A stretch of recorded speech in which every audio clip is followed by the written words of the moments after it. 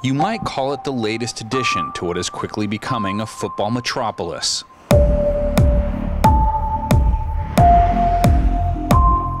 The glass palace rising up next to Autzen Stadium is most certainly symbolic. The symbol in this case, one of transformation. A program no longer content with just being good. A fan base no longer happy with just winning. An ascension in the college football world brought about by a philosophy, one embodied and carried out by the man in the visor. The irony in the construction of the newest state of the art, Nike funded football facilities lies in the fact that Chip Kelly may never inhabit them. It would be akin to Babe Ruth never actually playing in the house that Ruth built. But at this point, there's a good chance Kelly won't ever step foot in the house that Chip built as the active head football coach. I don't know. He's he's pretty plays that close to the vest. I said earlier this season whether or not he gets to a national championship, I don't know that that's a real factor. I think it's more probably a sense of timing. Only time will tell if Kelly does in fact leave for the allure of an NFL coaching job. If he does, the debate will officially begin. Just how do you evaluate a body of work only four years in the making? One thing that you have to give Bellotti and Rich Brooks credit for, Chip Kelly never had to build. He never had to build up a program. He never had to go out and fight for recruits. Chip did take the next step in a style of football and, and made it more exciting and tougher to defend an offense. And, and, and he definitely did take it up a notch, there's no doubt.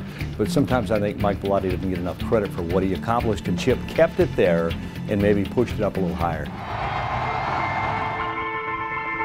Kelly is known for his penchant for doing things differently and the route he took to land the offensive coordinator position certainly falls under that umbrella. Jet 80, go fast and purple. Now give us your look. He really wasn't on anyone's radar while holding down the same job for New Hampshire in 2006. It was an interesting story because the reality is he found us. Um, he had read on the website or saw that we were going to the spread zone option um, in the spring of 2005. And he called me and asked if he could come out and spend a week with us. And I said, sure. Gary left to go to LSU, and I interviewed seven people. And Chip was by far the most conversant in the offense, the guy that in my mind could take us to the next level. Once at Oregon, he began implementing the offensive tenets that would eventually become his MO. But as the Ducks wrapped up the 2008 season with a Holiday Bowl victory over Oklahoma State, there really wasn't any expectation of change. No signs at that point that Bellotti had any intentions of stepping down, but behind the scenes, change was looming. I had bad knees, and practice was becoming difficult for me, more than difficult. Um, standing up for two and a half hours at a stretch was practically impossible. So um, I was going to step down, become the AD. The conspiracy theories began.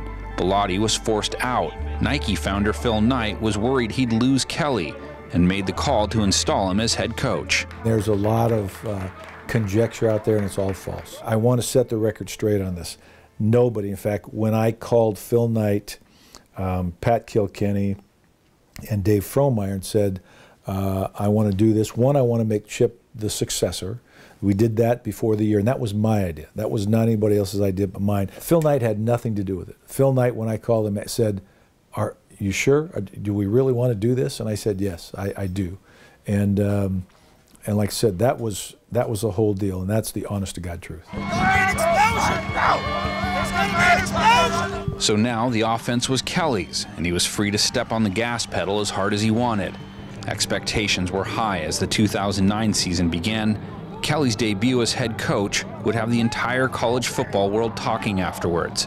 Not because he lost, but because of the punch. And the Boise State players come out around LeGarrette Blount. Somebody hit him on the top of the hat, and he responded, and now his teammates come and get him to separate him. He suspended LeGarrette Blount for the season, which in the end may have been a blessing in disguise. Kelly rode freshman sensation LaMichael James into the Civil War with a shot to send Oregon back to the Rose Bowl for the first time in almost 20 years. It is happening! Oregon is going back to the Rose Bowl! On September 3rd in Boise, Idaho. Everybody in this country counted you guys out. They lost in Pasadena to Ohio State, which set up Kelly's biggest test yet. A perfect storm was looming. His first offseason, more like a nightmare that unfolded one arrest after another. I don't know if they were challenging Chip and the new coaching change or what was going on. The Ducks star quarterback and running back both found themselves in trouble with the law. Kelly eventually kicking Jeremiah Masoli off the team, suspending LaMichael James for one game, while handing out an assortment of punishments to several other players. The embattled coach was answering more questions about controlling his players than he was about his spread offense. When your quarterback and your best player get in trouble weeks apart, that's that's where it was. That and a combination with social media. I thought that's what made it such a big deal. Kids make mistakes, and unfortunately nowadays, uh, with social media, what might not have been a big thing 10 years ago is on national news because somebody sees it and takes it and all that. But in the sports world, winning has a way of overshadowing just about everything else. And the Ducks' 2010 regular season proved to be the perfect remedy for all that ailed him. Kelly led the team into that year's Civil War with the unthinkable on the line a chance to play in the national championship. Can you believe the magical season this has become and it's not over? And Oregon is going to play in the national championship game. While Oregon came up short against Auburn, Kelly and the program were established. He was no flash in the pan. Last year, he led Oregon to its first Rose Bowl win since 1917 and now he is back in Arizona for the Fiesta Bowl. It's a truly special thing to be able to play in a BCS game. Ah! But to understand his success, you have to better understand the man, which isn't easy to do. Chip does not like the limelight. He doesn't want to be in front of a camera, and he's very private in not only his private life, but even in his coaching lives. Kelly is the college equivalent of Bill Belichick. He is incredibly private and not particularly fond of talking to the media, which he's openly admitted and regularly proves during his daily press briefings. It's certainly the highlight of my day. I love when it's the first thing in the morning because it can't get any worse after this. So, you know, we may have the worst practice ever today, but I say, guys, you should have seen what I just went through. So, anybody that covers Chip Kelly on a daily basis knows his personality and accepts it as who he is. What do you do to get him confidence early? We're going to find out. It's not something he turns on just to be mean. That's just who the guy is. He also isn't overly fond of other aspects of the job. A recent article pointing out that many boosters have complained that he regularly gives them the cold shoulder. Bellotti isn't surprised, being it was something he tried to shield Kelly from when he was athletic director that was going to be a job that I would help him with because as the AD, I ran a lot of interference for him in that regard, and I did a lot of the public speaking. He did the football, and that was our that was our deal. He told me, he said, "Mike, I'm not going to be a coach like you. Uh, I I don't want to do some of those other things." The article to me suggested that there were some boosters that got a dash of reality, and that was if you're not Phil Knight, you're not Pat Kilkenny, well then you don't really need to be glad-handed. You might then believe Kelly is one of those coaches who's loyal to his inside circle, creating an us against the world mentality. But that may not be totally accurate either.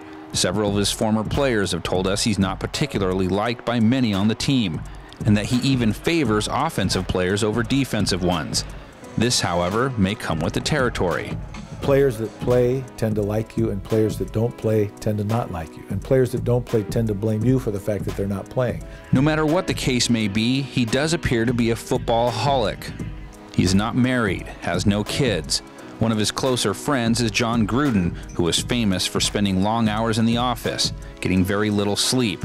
Like Gruden, football appears to be Kelly's life. I think Chip does live football 24 hours a day. I think Chip Kelly is that guy. I do. I, I think he's a guy that will sit in the office and watch just hours and hours of film to get one play.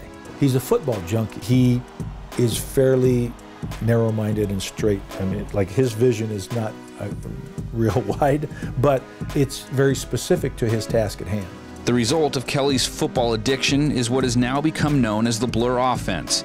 It's a two minute huddle on steroids that takes place all game long. His players are conditioned from the get go. They practice fast every day, all the time. They were flying. We got 40 snaps in the first 12 minute period and 40 snaps in our second 12 minute period, so they're moving around pretty good. In the end, his philosophy is based on common sense. The notion that fast players running plays quickly gives the defense barely enough time to line up. They can't substitute, they can't regroup, but many successful college game plans have been tried at the NFL level and failed, which begs the question would Kelly's work? Some of it would work, some of it wouldn't. I think he's very aware of that. I think Chip is an intelligent coach. He'll know what to do. He'll use elements of it that will will transfer and, and make the grade he'll dispense with others that won't. So will his players on defense buy in to a fast-paced offense? The only way Chip Kelly is going to stay successful, in my opinion, in the NFL is if he runs an NFL offense at his fast pace. Will an NFL defensive end who's getting paid $9 million a year to rush the quarterback be willing to play those extra 15 snaps a game? The Washington Redskins are doing a pretty good job with, I forgot the name of their quarterback, but think he's done a decent job, and, and the kid at Carolina has done a pretty good job. For now, Kelly finds himself back in the desert, back at the stadium where perfection eluded him just two years before. Does he have anything left to prove? Is being one of the best enough, or will he return unsatisfied until he is the best? Back home, the work goes on either way, awaiting his decision waiting to see if the man in the visor will in fact call this unfinished kingdom home for one more year.